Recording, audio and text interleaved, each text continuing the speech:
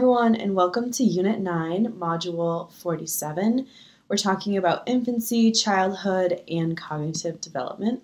Here are your learning objectives, and here's your vocab.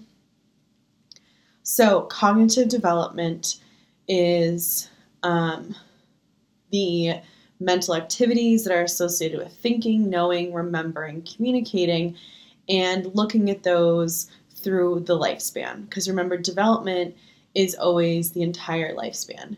So, Jean Piaget, um, who was a Swiss psychologist, he was in Paris in 1920 and he was working on um, intelligence testing with children. And he noticed that children tend to get the same wrong answers um, on the test. So, like their way of thinking, even though wrong, was similar. And so he wanted to study that more.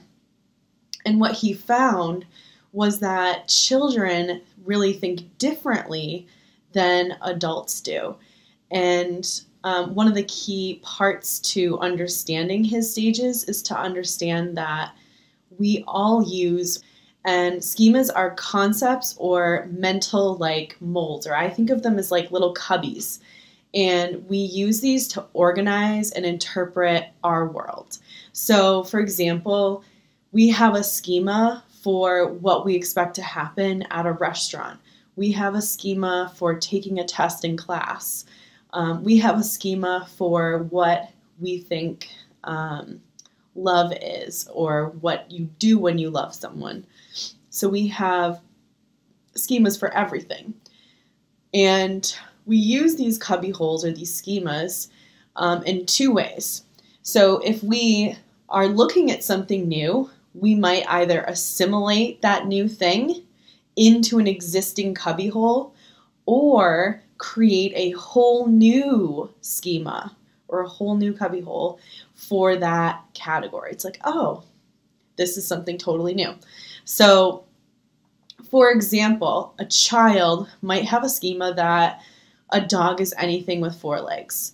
And they see a cat and they're like, the cat has four legs. they say, oh, it has four legs, so it must be a dog. And they look at the cat and they start calling it a dog. And maybe their mom or dad is like, that's not a dog, that is a cat because it meows, it purrs, um, and it's smaller, whatever.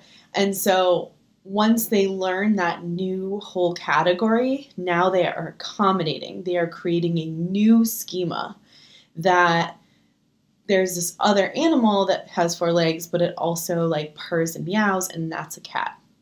So assimilate is to fit in this a box you already have, a schema you already have, and accommodate is to create a new schema.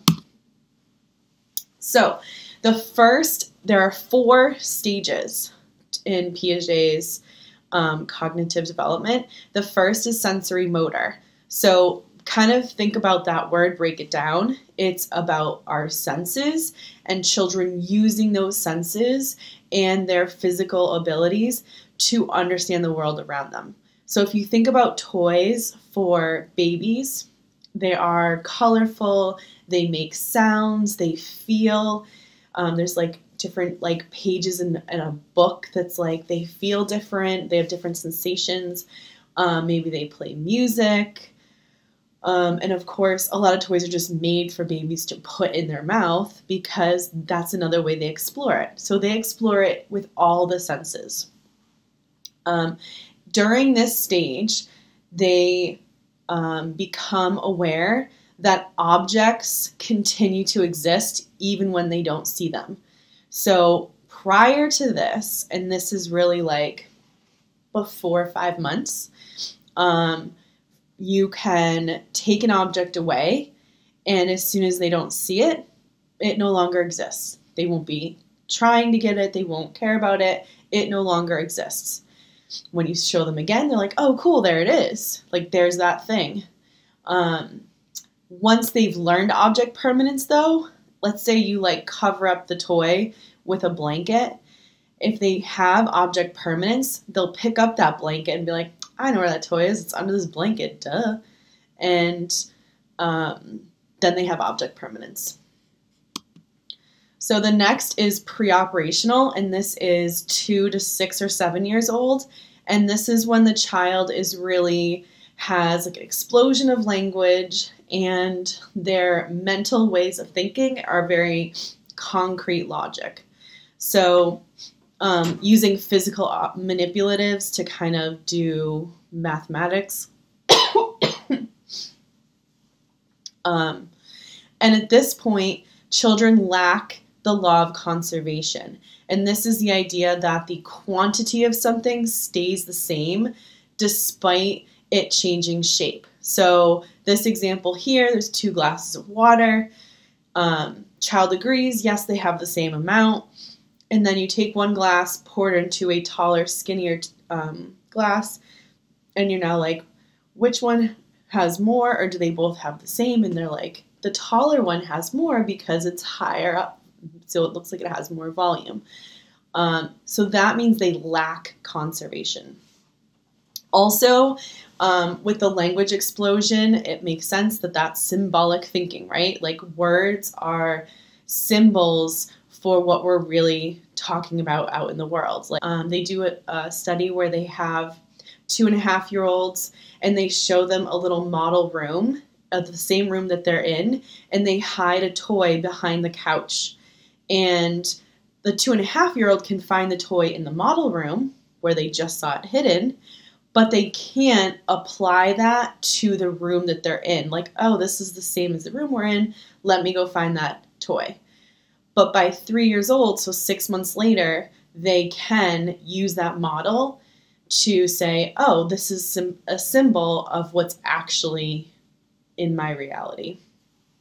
Um, Piaget also incorrectly thought that at this age they were egocentric, which means they have difficulty perceiving things from another's point of view. So, for example, if they were like showing you a picture, they would be like, look at my picture, and they would hold it up, but so it faces them in their perspective and not allowing the other person to see. Um, he was a little off on this. Um, this goes away much. Also, in preoperational, there is the theory of mind. And this is the idea that we can think about what is this other person thinking about? Or let's say they're doing pretend play. Like, what does my stuffed animal want to do? Or what is my dog thinking about? Like, those kinds of things. That's theory of mind. Um, and this is why pretend Piaget really believed in pretend play um, and play in general for children because play was how they were uh, they are learning and learning what makes someone angry, happy. Once they kind of learn like this makes my parents happy, or if I do this, my parents will come give me a hug, or if I do this, maybe my parents will give me a toy. So using those, and it sounds bad, but like they're using them in a way to get what they want, but that's actually a really good thing. It's showing that they have theory of mind. Um, they do an experiment where they have a, re- um, a band aid box and they put pencils in it, and they're like, What do you think's in here? And the child's surprised that it's pencils, and then they ask, like, okay, so if we show this to some other child who hasn't seen what's inside of it, what do you think will be inside of it? And a child who does not have theory of mind would be like, oh, they'll think there's pencils in it because that's what they think, you know? But um, if they have theory of mind, the child will say, if someone sees that and they haven't looked in it, they'll, they'll think there's band aids in it, just like I did. So, children um, on the spectrum, on the autism spectrum, and deaf children actually have a harder time developing theory of mind. So here's just a little example of um, theory of mind. You can pause it and look back at that if you want. Um, and then the next step is concrete operational, and this is from six or seven to 11 years old. And this is when they begin to grasp the law of conservation, or they do grasp the law of conservation. Formal operations, this is age 12 plus, and this is when they begin to think abstractly. So there's like a little if then example example here, um, more difficult higher level math. Um, this is this is the last step.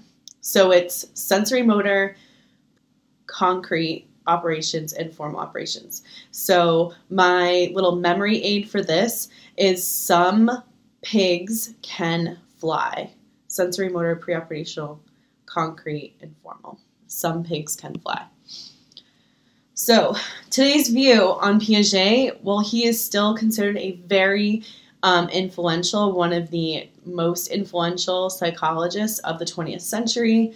Um, not so much like he did get several things wrong, but he got the milestones correct. He was a little off on like the timing of when these things happen. He said a lot of these things happen later than when they actually happen. Um, and um, researchers today really see things as more continuous than in set stages. So, the autism spectrum disorder, it appears in childhood and is marked by significant deficiencies in communication, social interaction, and rigid interests and repetitive behaviors. One in 59 children in the United States, according to the CDC, um, is diagnosed with autism or has autism um, and this keeps increasing.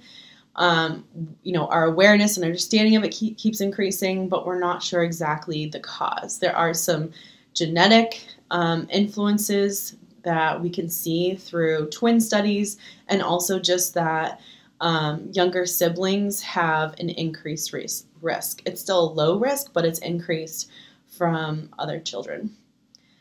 Um, the spectrum is wide, but it has three main levels. But you really can't think of like every kid who's on level one or is high functioning um, to be the same, and every kid who's on level three to be the same. Like every child is so different because there's so much with autism.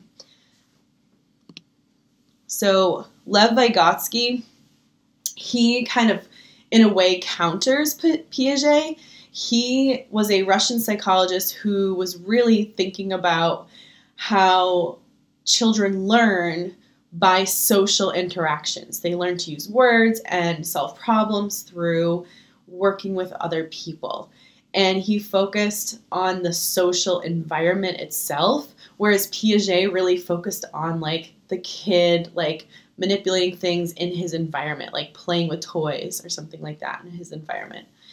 Um, he, Vygotsky really emphasized the use of scaffolding, which kind of provides like a temporary support for a child um, to get to the next level of thinking. It's like, okay, you can't do this yet, but let's break it down into these easier steps so that you can do it. Um, and so this this kind of like sweet zone of where okay you can do this you can't do that so right here in the middle that was the zone of proximal development.